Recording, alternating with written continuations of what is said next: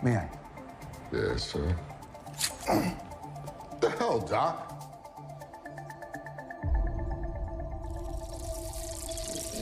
Holy shit.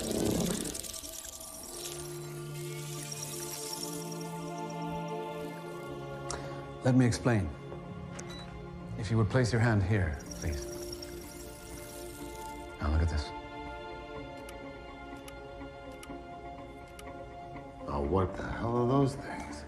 Biomechanical constructs. We call them nanites. They intuitively enhance your biology. Most notably, they, they react very quickly to catastrophic injury, rebuilding damaged tissue.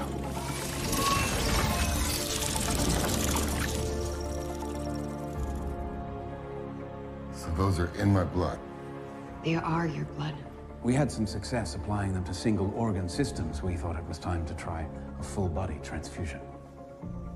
Of course you did. Well, just like our own bodies need calories, the nanites need their own energy. And this lab supplies that. Obviously, the more effort they make, the more energy they consume.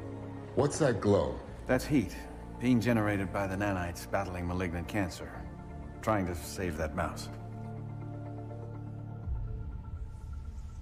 The mouse that just died. Admittedly, some of the early results were suboptimal. Maybe we should fast forward to the optimal part. That's you. You're the optimal part, because now we have the ability to recharge when they're running low. I cannot remember anything about me. Because of who you were and what you did. Sadly, everything about you is classified. And that was all your past. This is your future. Listen, when I was a boy, I was a tennis champion. And then when I was 15, I got cancer. And they took my arm within six months. Instead of dwelling on what I'd lost, I chose to focus on who I could become. And so now when a soldier loses his arm, he gets a better one.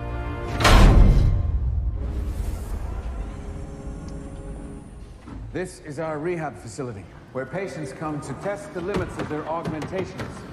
You've already met KT, ex-Navy swimmer. She was part of a rescue deployment in Syria during a chemical attack. One laryngotracheal reconstruction later, and she now breathes through a clavicle-mounted respirator. Makes her totally immune to inhalants. Tibbs here graduated from Fort Benning, top of his class. He became one of the Army's most successful marksmen until an Iraqi mortar took his sight. We've since remedied that with ocular prosthetics. Gear-mounted camera arrays feed directly into his optic nerves, which means now he sees everything. Welcome to the circus. And finally, Jimmy Dalton, ex-Navy SEAL. Jimmy lost both his feet to an Afghan IED, so we engineered him a new set. Part of Team 6 took out Bin Laden. You and every other Navy SEAL. So we're wounded warriors. Not wounded. Improved. Enhanced. Sounds cool. Yeah. Yeah.